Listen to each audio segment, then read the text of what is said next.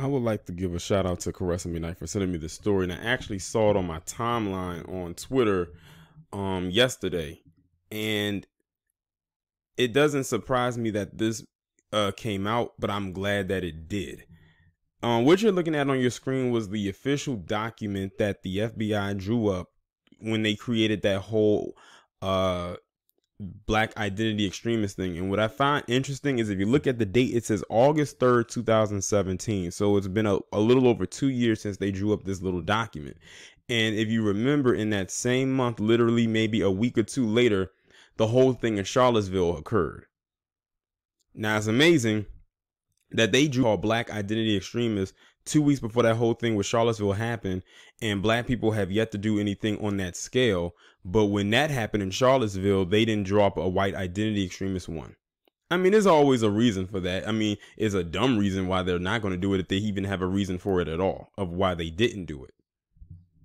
But there was a document uh, that was it says the uh, FBI documents got leaked and the people over at the Young Turks managed to get a hold of it. Now, I'm not going to read for you the entire document because it's pretty lengthy, and I wouldn't read something like that on here because they might try to flag my uh, video or even flag the whole channel down for reading something like that. But I'm going to read the article and it's going to put it has some things in there that's like pieces from the art from the document in there, like what I'm about to read to you in the title. It says FBI ranks black black identity extremists bigger threat than Al Qaeda and white supremacists. So they have given this fake title because it got exposed for being a fake title. Uh, I forgot the woman's name, but she grilled this uh this palm colored individual over at Congress about it or wherever they were at. And they basically, she basically forced it out of them that black identity extremist was not a real thing. That was just something that they decided to come up with. But they literally said black identity extremists that title is a bigger threat than Al Qaeda, which is an actual terrorist organization. And they put us above white supremacists. That's how high they ranked us. Uh, this was in the leak. Sorry about that for popping up on my screen. But um that was what that is exactly what was in this leak that the Young Turks got a hold of and it was from 2018, so it was last year. Now, let me go ahead and read this article. Leaked FBI documents indicate that quote unquote black identity extremists and animal rights activists are among the agency's top counterterrorism priorities under 45. The FBI's priority list documents obtained by the Young Turks Thursday lay out the Bureau's 2018 fiscal year focal points in counterterrorism, cybercrime, and counterintelligence. The 2018 2019 threat guidance documents describe black identity extremists as those who use force or violence in violation of criminal law in response to perceived racism and injustice in American society. Literally, what they're trying to do with that title is put us, like it says in the title of this article, above white supremacists as if we are the threat, as if we are the ones that are causing them to do this, as if we are the ones that's imposing on their lives. That's what they're trying to say. That's what they're implying. What it's crazy, like, uh, like, uh, how back then, that even back then, they even try to make us seem like we was an issue. We've always been an issue. I forgot who it was back then, but they said they need to try to do something to uh uh mellow out the black problem. They see us as a problem and always have seen us as an issue. And, li- and it's like they keep trying to get rid of us, but they just can't find a way to do it. And notice who else they also put up there animal rights groups.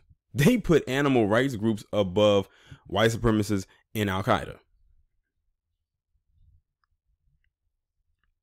It says the files claim some BIEs acted in hopes of establishing a separate black homeland or autonomous black social institutions, communities, or governing organizations within the USA. Isn't that what Palm Colored has been trying to do for decades? But they're not going to call them white identity extremists. An internal FBI report from August 2017 was widely criticized for using the BIE label, which many called racist. But the Consolidated Strategy Guide documents leaked this week show the FBI kept the term and made BIEs one of its top counterterrorism priorities.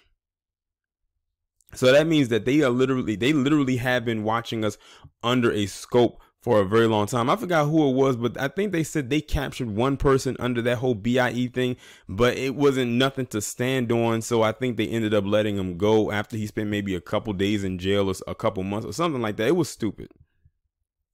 Animal rights slash environmental extremists and anti-authority extremists were also deemed top exist existing threats.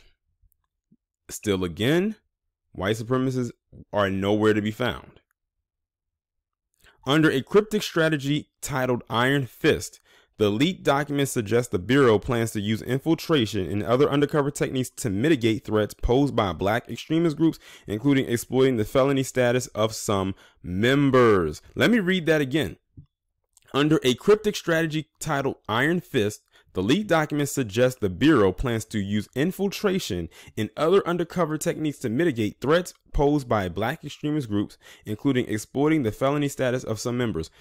The key word there is infiltrate. That is nothing new.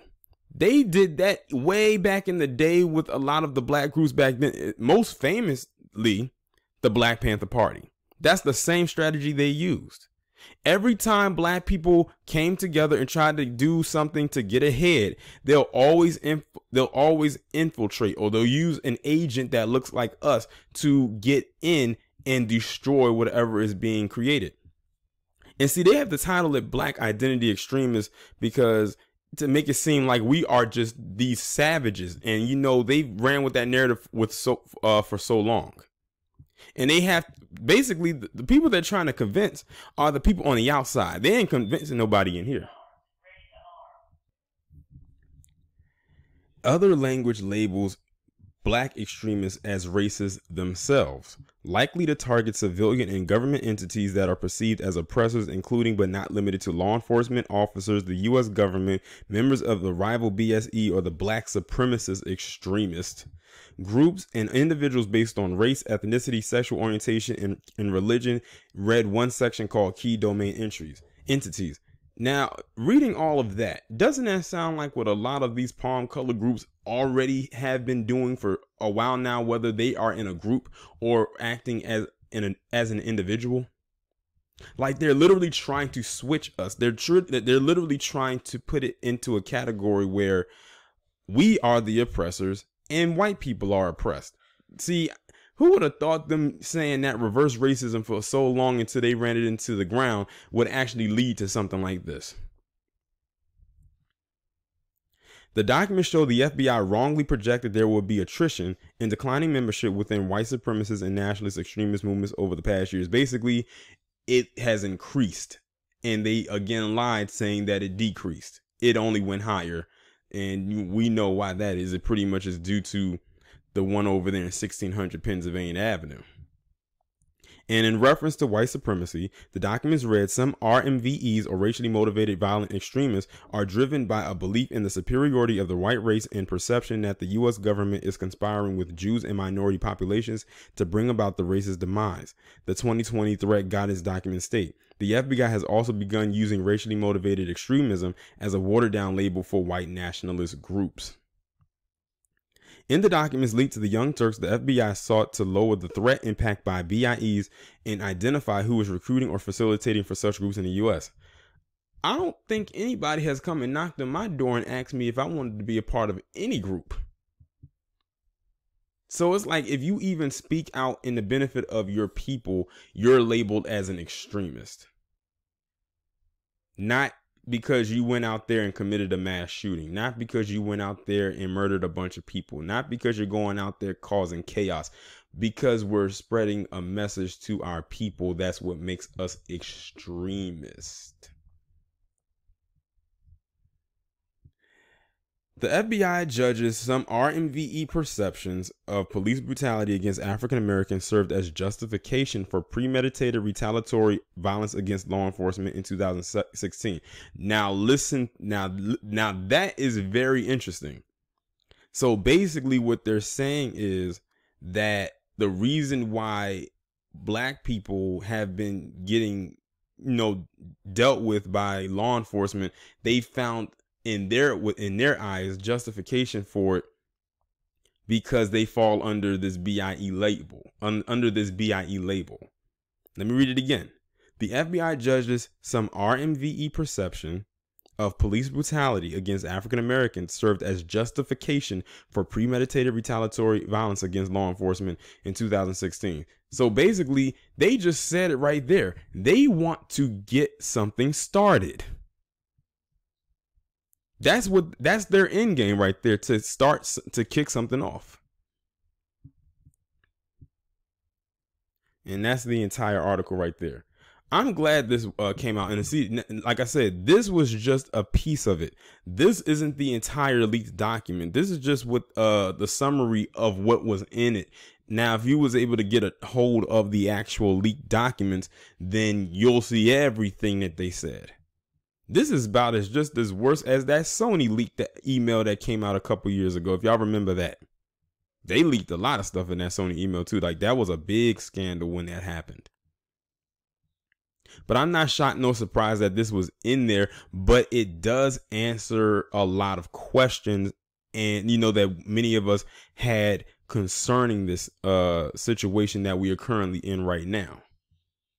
Like they had basically what they did with the whole BIE thing is they created an imaginary boogeyman.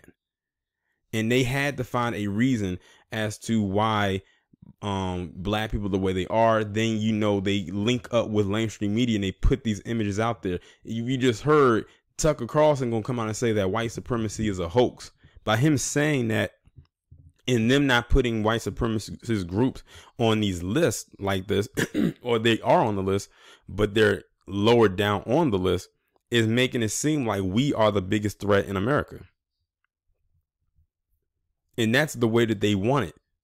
After all these years of saying reverse racism, after all these years of saying 13% of the population would commit all of this crime and black on black crime and this and black on black crime in the Chicago, this, Chicago, that, it's led up to this right here. Their rhetoric and propaganda led to one of their biggest propaganda pieces yet, which is the black identity extremist, which is not real. And notice that they don't have a white identity extremist. They purposely left that out for a reason. Even though, with all these mass shootings that continue to happen, they they shoot themselves in the foot every time. See, they're just banking on something to pop off involving a black person that exceeds just your regular maybe drive-by shooting or robbery or anything like that. They want a black person to commit something like what has happened in the last week. Just one is all they will need to try to back this up. Because you know, they give so many examples and they still won't call them terrorists. We give one example, oh, black identity extremists. Y'all let me know what y'all think about this down in the comments. Like, share, subscribe. I will talk to you in the next one.